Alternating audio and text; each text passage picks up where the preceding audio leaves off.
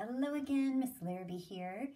Today we have a project that kind of has the look of pop art, which is a period in time when um, artists were doing things that looked kind of like advertisements, things that um, repeated bold, solid planes of color and sometimes were used, you might think of the St. Campbell soup cans from Andy Warhol, those kind of things, sometimes used common everyday objects um, in repetition as their expression for art.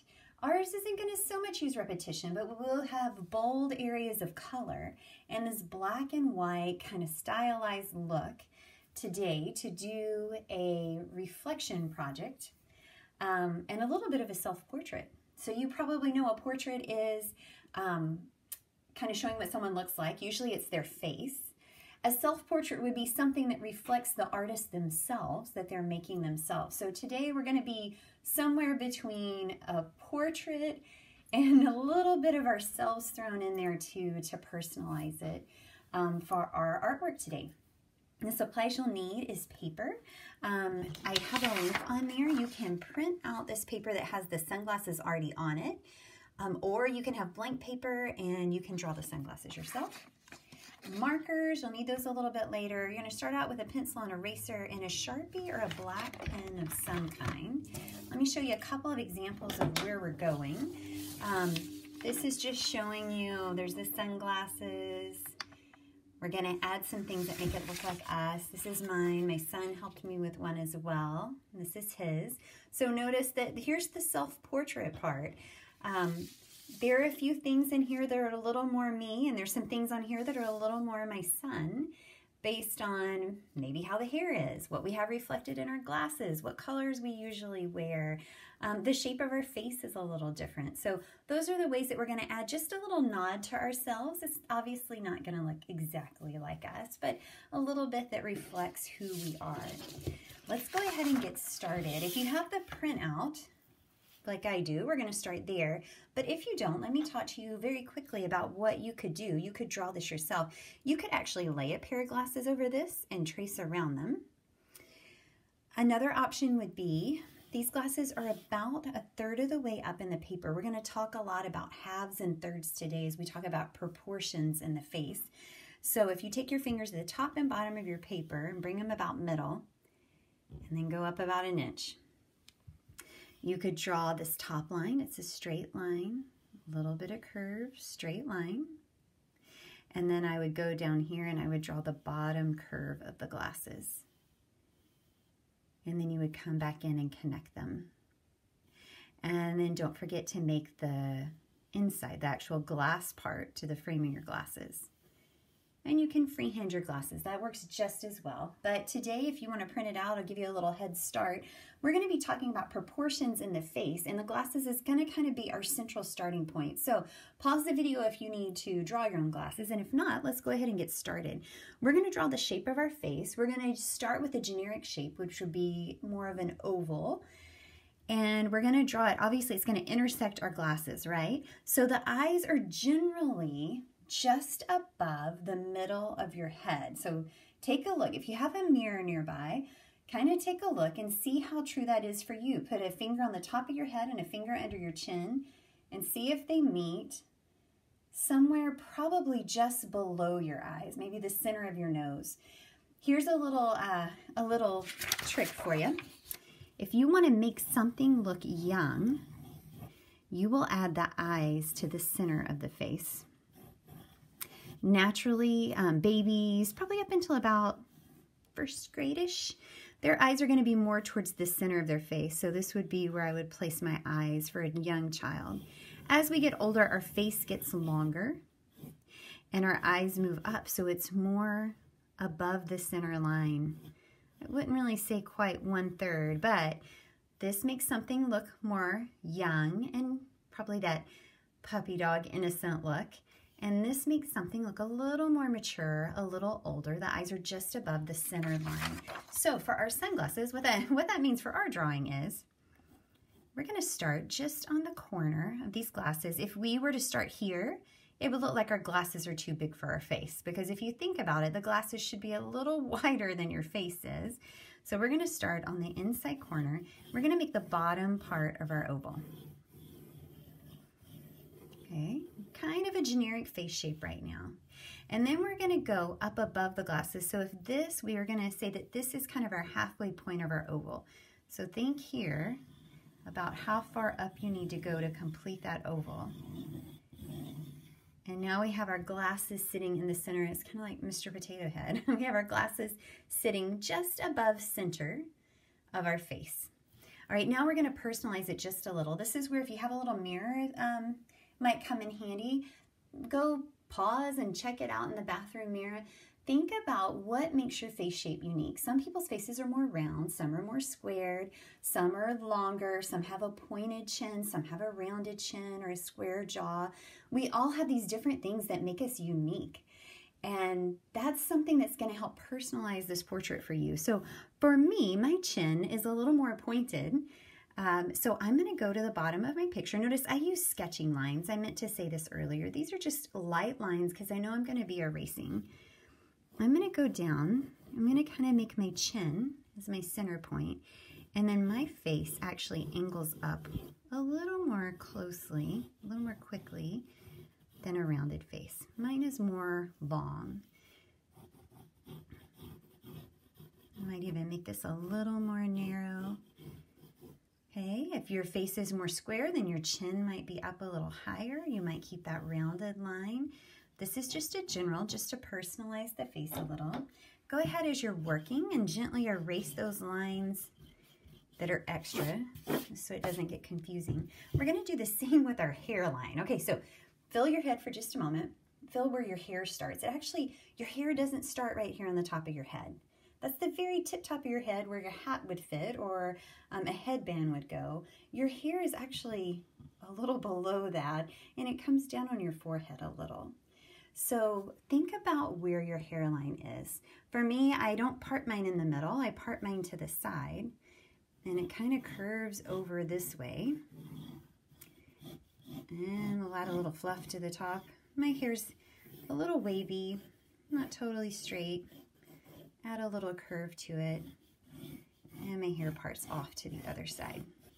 If you have short hair, then you're going to stop your hair where it's short, right? Eh, maybe here's a chance to try out a hairstyle you've always wanted. Anybody want spiky hair? Add some spiky hair to it. Might not be quite as much as self-portrait, but kind of fun. All right, so kind of figure out where your hair would go and then erase the top of this oval. This was just for us to kind of keep our places as we were doing it. Starting to look like a person, isn't it? A little less potato headish. All right. Um, ears, especially if you have short hair, you might see your ears. So here's where we're going to start with proportions. The ears typically rest below the eyes, somewhere between the eyes and the nose maybe we should start with the nose since we don't have a nose yet. Let's do that. So let's start with the nose. So think about where your eyeballs would be in your glasses. Maybe put a tiny little dot there just to hold your space. So somewhere in here. Your nose is halfway between your eyes and your chin. So I'm going to just bring my hands together halfway between my eyes and my chin. This would be the bottom of the nose. When you find this halfway point between where your eyes would be and your chin, draw a small line, very small line. This is going to be that center part of your nose between your two nostrils. And then make a slight curve on both sides. This is going to be the start of our nose. You know, some of us are used to drawing like a straight line for our nose, and that's, that's great from the side, but we're going to get a little more um, sophisticated with it here. All right, and then so this is the center of the nose. This is the curve of the two nostrils.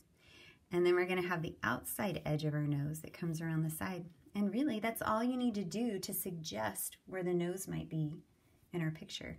If you wanted to, you could bring the sides up a little more. Noses are something that really shows personality too. Well, not personality, they show um, a uniqueness to each of our faces, right?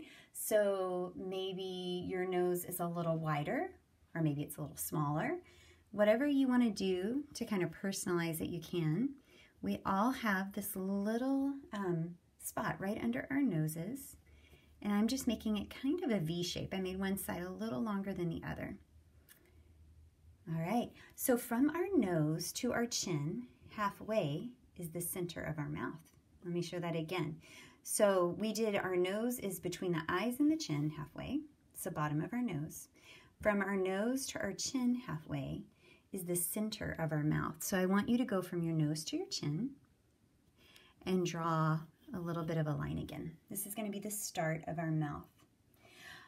The mouth is about as wide as your eyes are. So think about where your pupils would be behind these glasses and bring it down. That will be the corners of your mouth.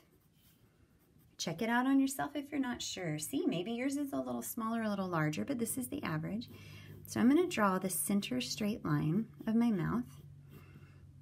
I actually have um, a little bit of a smaller mouth, so mine will be a tiny bit smaller because remember I'm adding details about myself in here. I'm kind of hiding them in. And I'm going to curve my lines up just a little so it doesn't look like I'm going to be frowning. So this is the middle line of your mouth. And then think, take a look in the mirror and see, is your top lip larger or your bottom lip? Are they about the same? Most of us have a starting point right here. We either have a sharp V, it's kind of pointed like this, or we have more of a curve. Decide what you have. And then you're going to take, so I made a V and I curved mine. Yours might be a little sharper depending on the shape of your mouth. And I'm going to take the edge of this and I'm just going to meet the side of my mouth. We have a realistic mouth shape. My bottom lip is a little bit bigger than my top one. I'm going to start with a diagonal line. And then I'm going to just connect the two. There we go.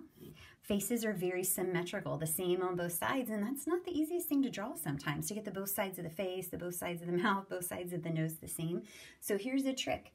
You can take your picture and hold it up in a mirror and be able to see quickly if you're off in your symmetry or the sameness somewhere the our eyes kind of correct things for us when we look at them but when we put them in the mirror and we see a reverse image of it in the mirror our eyes pick up really quick on where our problem spots might be. So if something seems off and you're not quite sure go hold it up in the mirror and you might could see really quickly where maybe one side of your face is a little off or one side of your mouth but we're going to go with it for now. That's just a um, an extra. You don't have to do that. All right, so we have our face in. Okay, so ears, back to ears. So ears rest between the eyes. So we said that our eyeball would be somewhere right in here and our nose. So if you wanted to add ears, they're going to sit somewhere under the edge of these glasses.